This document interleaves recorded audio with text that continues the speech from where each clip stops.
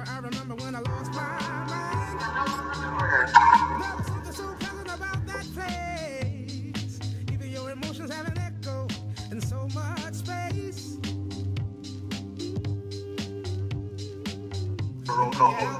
Finstad moves to refuse to concur and send uh, the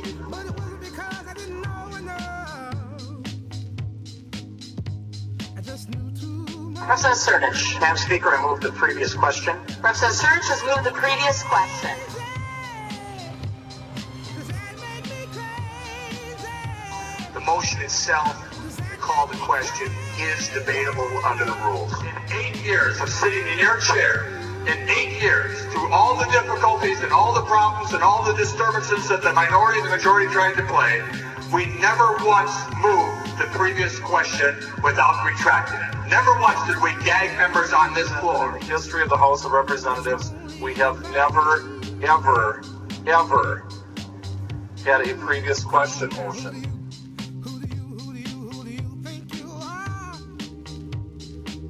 But it has been successful five times in the history of the House in recent history.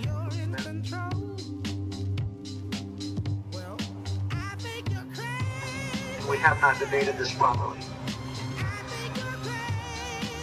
Madam, All those in favor of moving the previous question, wanted a roll please call, say Madam Speaker. Wanted a roll call. aye. Madam Opposed, Speaker, roll no. call. Madam Speaker, roll call. I was here I was my hand up. calling the question. Madam Speaker, I was asking for a roll call and call. All those opposed, no. Madam Speaker, I was asking. The asking. motion, the motion prevails.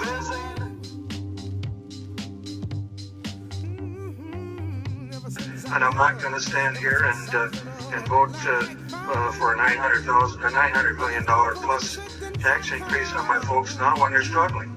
So Representative Cole, that's my answer. I yield back to you.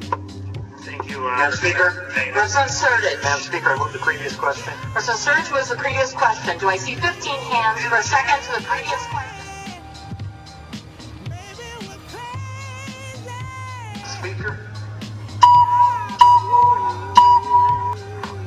Madam Speaker, point of parliamentary inquiry. The motion before us is the motion of moving the previous question.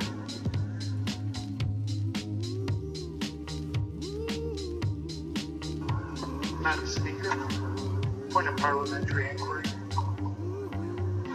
We are in the middle of a roll call. There being 84 ayes and 46 nays, the motion prevails and the previous question is so ordered.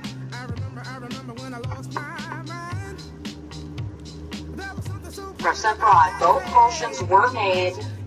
The motion prevails and the previous question is ordered. I will call on you for your parliamentary inquiry. Madam Speaker, maybe this is best directed to uh, Representative Sertich, but I believe the motion to lay on the table is in order, and I'd like to uh, maybe understand better why it might not be. Madam Speaker, Representative Madam Speaker, I move the previous question. Representative Sertich moves the previous question. Do I see 15 hands to second the question? Seeing 15 hands, the questions are properly Madam Speaker, par- put a parliamentary inquiry under um, 3.10. There's been a number of motions made, Madam Speaker, and I'm wondering if you could tell me the precedence of motions. I've heard a motion, motion for the previous question, motion to lay on the table, and the motion to, to adjourn. The motion for the previous question is, my understanding, is a lesser motion, the motion to lay on the table and the motion to adjourn. Yet, Madam Speaker, that's not what is occurring here. So if you could help me out to understand what the pre- precedence of the motions, not only that's in Mason's, but what you might be operating under tonight. Representative Rod, it is always the prerogative of the presiding officer to recognize the member for the motion. Madam Speaker, Representative Rod. uh, Madam Speaker, I would move to lay the motion on the table. Ask You- for a Speaker. Rod, you cannot lay the motion on the table. Speaker, what I'm trying to understand is uh, under point uh, 3.10, it suggests that uh, the motion to lay on the table is supersedes the motion to move the previous question, but only if the motion to move the previous question is properly made. Madam I don't believe that motion was properly made because Representative Sertich actually did not have the floor. So therefore, Madam Speaker, I'm wondering under point of parliamentary inquiry, why uh, the point, uh, moving the previous question supersedes laying on the table. Representative Braun, we are way beyond that. We are in the middle of a roll call.